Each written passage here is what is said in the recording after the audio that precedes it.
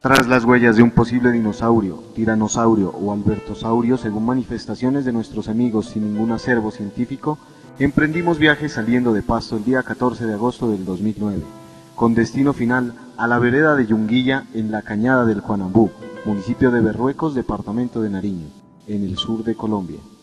Pasamos por el bello municipio de Huesaco con su capital que se destaca por ser un balcón que sobresale en aquella espectacular geografía, por una vía pavimentada, llegamos al puente del Juanambú, atrevida y espectacular obra de ingeniería que ganó en 1975 el Premio Nacional de Ingeniería.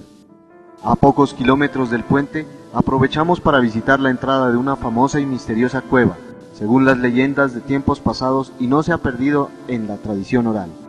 También pasamos por Rosa Florida Sacandonoy, como era el nombre de esa región en tiempos idos.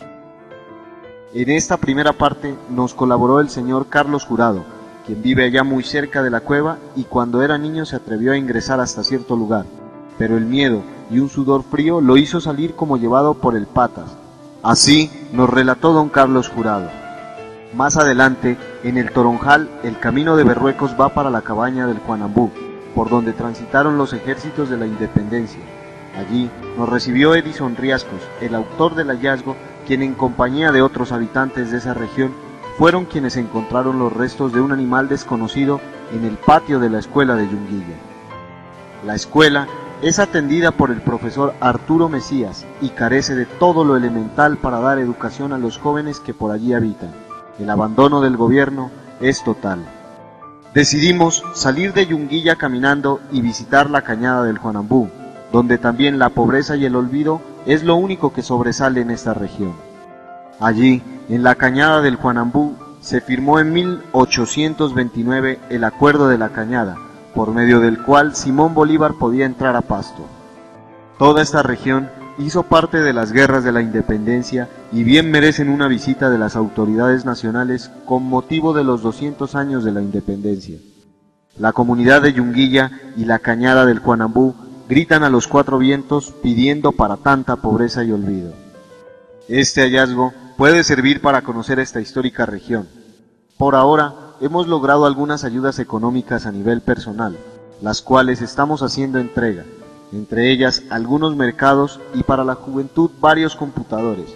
Qué bueno sería que los narillenses pudientes nos ayudaran para llevar el progreso a esta región tan olvidada. Por último, la comunidad de Yunguilla solicita que todos los elementos hallados se mantengan en el mismo sitio para evitar que por algún motivo se pierda o vayan a terminar en museos particulares sin ningún control. Agradecemos la colaboración de la comunidad de Yunguilla, especialmente a los señores Edison Riascos, Jason Riascos, Evelio Romero, Wilber Riascos, Segundo Medardo Riascos, William Riascos, Wilson Armero, Campo Armero y Raimundo Riascos.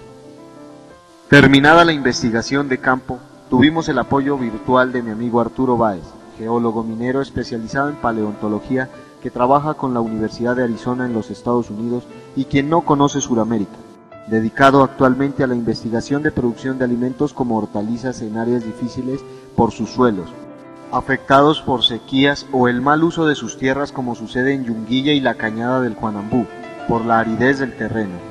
Nuestro amigo Arturo identificó los restos como un cubieronius por las cúspides molares.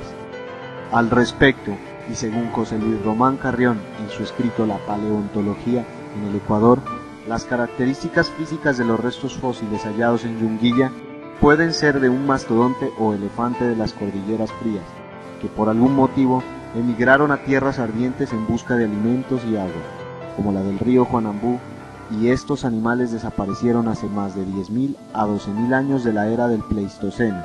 Se le denomina Cuvieronius en homenaje a George Cuvier, el padre de la paleontología. Para más información y colaboración con esta comunidad de Yunguilla y La Cañada, dirigirse a la calle 18 número 2469, Plaza de Nariño, teléfono 729-0419 y 723-9451. Isidoro Medina Patiño, promotor de esta campaña social.